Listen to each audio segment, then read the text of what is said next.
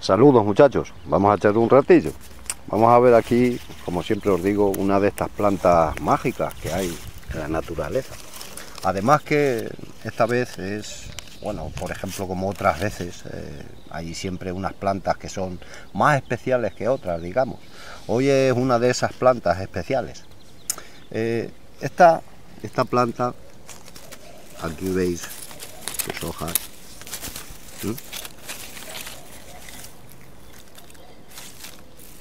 y sus inconfundibles bracitos con, bueno, esa especie de espiguita, con esas florecitas. ¿Mm? Ahí la veis. Esta planta, ya digo, eh, es el llantén menor. Hay otra planta que se llama llantén mayor, eh, bueno, es muy distinta a esta, aunque tiene algunos parecidos, sobre todo en sus grandes propiedades y beneficios. Ya digo que esta planta, mm, ese es uno de sus nombres, digamos, vulgares. Su nombre científico, como siempre os digo, que es al que más os tenéis que agarrar para buscar información de una u otra forma, es Plantago lanceolata.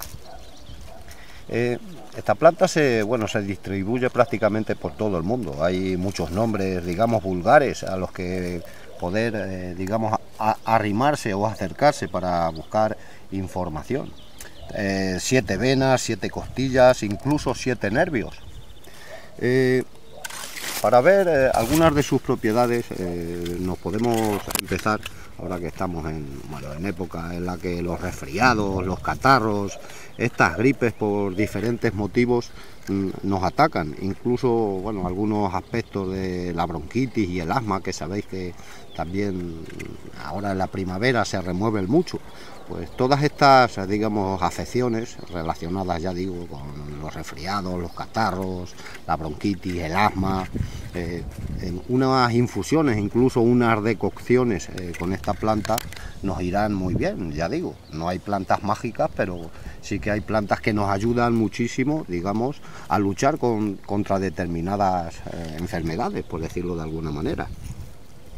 Daros cuenta que incluso para problemas de las anginas, inflamación de anginas y demás, infección de anginas, pues unas gárgaras con esas infusiones o esas decocciones nos irían de lujo. Incluso con el, mismo jugo, como os he mostrado por ahí en algún vídeo de cómo hacer, digamos, zumo de clorofila, pues ese mismo zumo bien coladito también nos, nos valdría para las mismas afecciones que os estoy diciendo. Incluso Mm, quizá mejor porque ya sabéis que al cocinar siempre se pierden algunas de las propiedades, digamos, de unas u otras plantas. Ya digo que mm, viendo las innumerables propiedades y beneficios que tiene esta planta, nos podemos ir ya, como os he dicho, que vale para las infecciones de garganta, incluso también eh, para eh, las infecciones de oído,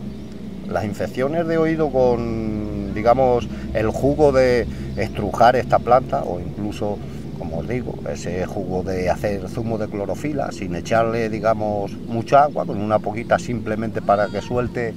un poquito jugo, pues mm, unas gotas en el oído eh, se ha utilizado durante mucho, bueno, durante mucho tiempo para curar esas infecciones de oído, ya digo, al igual que las de garganta. Eh, otro de los nombres que, mm, digamos, vulgares que se le atribuyen a esta planta en muchos lugares es raíz de las almorranas. O sea, mm, daros cuenta que hay muchas, digamos, muchas historias sobre remedios naturales, unos que funcionan mejor que otros. Uno de ellos habla de que por ejemplo, la raíz de algunas plantas, por ejemplo esta, de, digamos del llantén menor, o mm, la raíz del lirio, por ejemplo, eh, guardada en el bolsillo y bueno, incluso por la noche también, eh, debajo de la almohada, o incluso, bueno, tenerla cerca por la noche también durante un largo tiempo, bueno, según las, eh, ya digo, según los remedios caseros, pues mientras que se iba secando esta raíz, también se iban secando o muriendo, por decirlo de alguna manera, las almorranas. Eh, mm, bueno, este remedio no es infalible porque conozco a bastante gente que lo ha hecho, incluso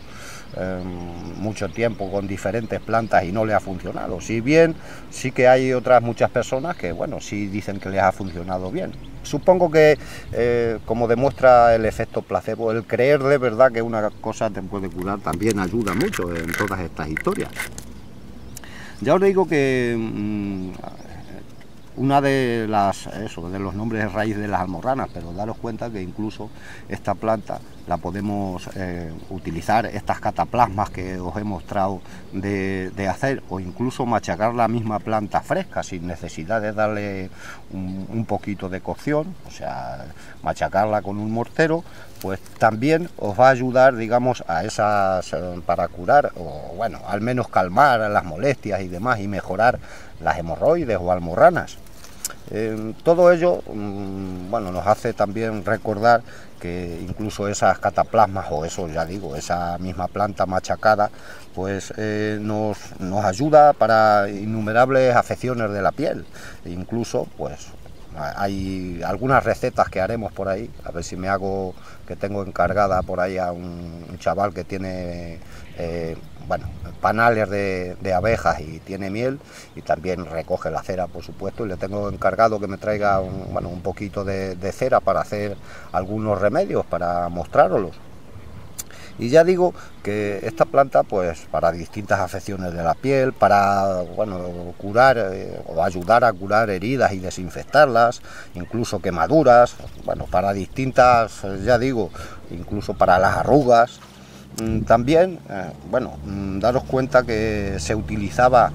ya digo, en todas estas formas que os estoy mostrando, se utilizaba también para distintas picaduras de insectos, ya sabéis, de que te pica algún insecto o algún bicho y te sale un bultito, un grano, digamos, infeccioso, venenoso, pues bueno, incluso para esas ronchas gordas que nos salen con, con los mosquitos y similares, pues también nos ayudaría. O sea, esa misma cataplasma, tanto en crudo como ya digo, con un hervorcito, pues nos ayudaría para todas estas afecciones. Eh, incluso conozco, bueno, algún amiguete que tenía problemas con, bueno, de que trabajábamos en la construcción, tenía eh, problemas con, digamos, eh, un poco de alergia al cemento y demás, y hubo algún médico que le recomendó que, bueno, algún, algún remedio casero para para tratar esa alergia al cemento en las manos, le salían llagas y distintas pupas eh, a todo eso y un tratamiento con, con llantén menor, pues bueno, lo mejoró en distintas ocasiones, ya digo que todas esas historias pues depende muchas veces de el ímpetu que se ponga en, bueno, en querer tomarte una cosa en serio. Hay muchas personas que quizá llevan toda la vida a base de medicamentos por una afección y luego resulta que no le han curado nada. Pero si tú le dices un, remedio casero, un remedio natural, eh, bueno, si se lo toman un par de veces, o sea, hay gente que se toma un par de infusiones y dice, va, esto no me hace nada. Evidentemente todo se trata de un tratamiento, de tomarte las cosas eh, durante un tiempo, mejorar otras, eh, otros muchos hábitos que tengas quizás en algunas ocasiones no se trata de que haya una planta que te tomes una infusión o te comas un, poco de la planta de una u otra forma o te la tomes y te lo cure de la noche a la mañana. Nada es tan sencillo, muchachos. Eh, al igual que pasa con la medicina, digamos, de las farmacias, la medicina tradicional le sucede lo mismo. Mm, todo es un tratamiento, todo es tomarte en serio una cosa y empezar a tomártela, a hacértela eh, incluso daros cuenta que mm, para los párpados, para los eh, cargados, eh, estas bolsas en, digamos, en los párpados, ojeras por distintas, por distintas cosas, pues estas, esta planta machacada, ya digo, estas cataplasmas también nos podrían ayudar a, mejorar, digamos, estos, estos síntomas que se presentan a veces por distintos motivos. Y bueno muchachos, pues yo creo que, como siempre os digo, eh, que ya hemos echado un ratillo,